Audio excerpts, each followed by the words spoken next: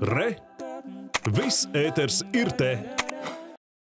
Jā, trešo valstu migrantiem, kuri nelegāli šķērso Latvijas austrumu robežu, vajadzētu nodrošināt iespēju lūgt patvērumu. Tā ir viena no rekomendācijām, ko izplatīja apvienoto nāciju organizācijas bēgļu aģentūra. Saprotot drošības riskus Latvijai, ANO tomēr aicina veikt izmaiņas patvērumu meklētāju politikā.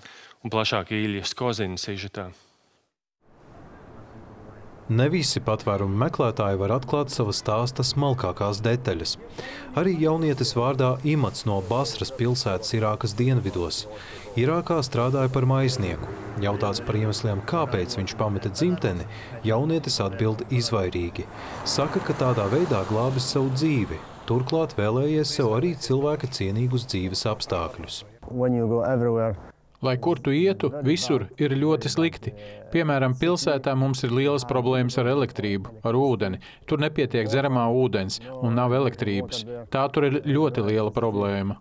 Imants stāsta, ka ir ļoti pateicīgs, ka Latvija viņu uzņēma, taču ne visiem ir paveicies. Pēc ārkārtējās situācijas izsludināšanas austrumu pierobežā Latvija humānu apsvērumu dēļ uzņem vien dažus no robežu pārkāpējiem. Šiem cilvēkiem nav arī iespējas lūgt patvērumu, kas ir pretrunā Latvijas starptautiskajām saistībām. Tā savā ziņojumā norāda apvienoto nāciju organizācijas bēgļu aģentūra. Organizācija aicina Latviju mainīt tās patvērumu meklētāju politiku. Ir cilvēktiesības, ieskaitot tiesības lūgt patvērumu. Šīs tiesības ir spēkā arī ārkārtējo situāciju laikā, tāpēc ir ārkārtīgi svarīgi nodrošināt to, lai cilvēkiem, kuri grib pieteikties patvērumam, šāda iespēja būtu. Taču Latvija pagaidām to nemainīs. Raidījumā Rīta panorāma paziņoja iekšlietu ministre Marija Golubeva. Jā, mēs vienkārši ielaistu Latvijas teritorijā visas personas, kas mēģina nelegāli šķērsot no Baltkrievijas puses, un tad katram, kat, kat, no katru no viņiem pieņemt patvēruma pieteikumu, un šis process ilgtu vairākus mēnešus. Mūsu spēja un arī mūsu kaimiņvalsts spēja kaut kāda veidā nodrošināt visus nepieciešamus apstākļus patvērumu meklētājiem būtu principā izsmeltas ļoti, ļoti ātri.